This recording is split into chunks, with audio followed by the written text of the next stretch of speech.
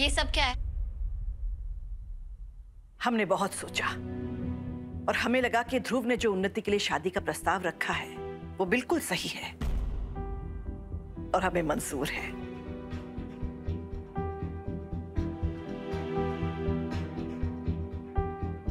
हमारी उन्नति और आपके ध्रुव की शादी का पहला शगुन स्वीकार कीजिए। रुकिए बुआ जी। ये शगुन ध्रुव और उन्नी के रिश्ते के लिए नहीं है।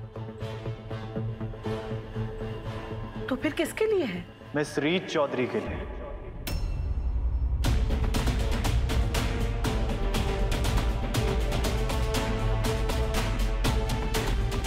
ये क्या कर रहा है राघव?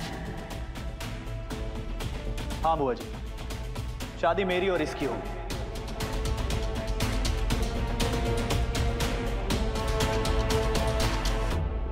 और हमारी शादी इस बात की गारंटी होगी कि ये लड़का, ये घर परिवार मेरी उन्नी की खुशियों का ख्याल रखेंगे।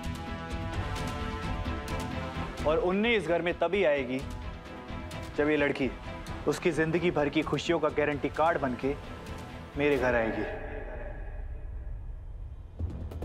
हाँ तुम बनोगी मेरी गारंटी वाली बीवी।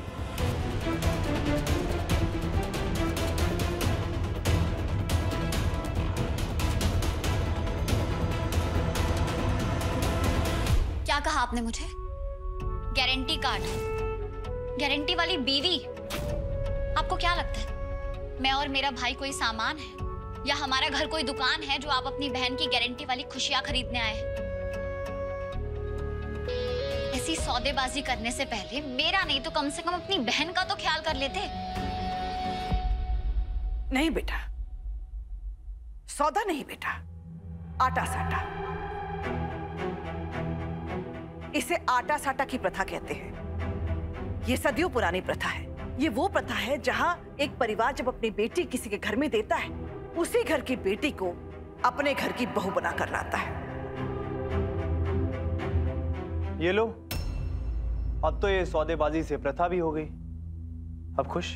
प्रथा दहेज और बाल विवाह की भी है। लेकिन इसका मतलब ये नहीं कि हम उसे सही माने। और आपने सोच भी कैसे लिया कि मेरे जैसी पढ़ी लिखी इंडिपेंडेंट लड़की आपकी इस बेहुदा शर्त को मानेगी? एक बात कान खोल के सुन लो। मेरी बहन की तुम्हारे भाई से शादी तभी होगी जब तुम मेरी गारंटी वाली बीवी बनोगी। बहुत सुन लिया। ध्रुव! अगर आपको उन्नति की खुशियों की परवाह है तो मुझे भी मेरी दीदू की खुशियों की परवाह है। एक मिनट। दीदू। ध्रुव एक मिनट। आप लोगों को अदला बदली करनी है। है ना? ठीक है। एक मिनट रुकिए।